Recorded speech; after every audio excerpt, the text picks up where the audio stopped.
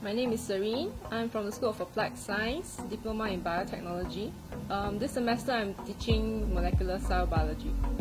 I've been in RP for close to 14 years. I like cafe hopping and also music, uh, in particular jazz music. I like to paint, I do portraits and I like to do landscapes as well.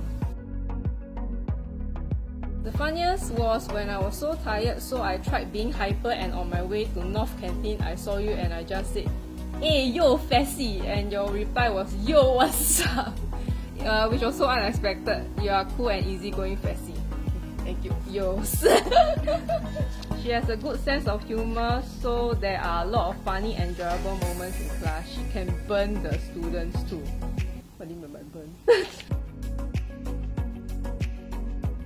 I'm not sure what you mean by burn, but uh, I think it has a compliment. she is a very joyful person. There has never been a day where she has not started class without smiling. Okay. this makes the lesson very positive as she's usually she usually never gets angry. Interacting with students really makes me happy. Yeah. So uh, it's, it's good to start my day with a smile.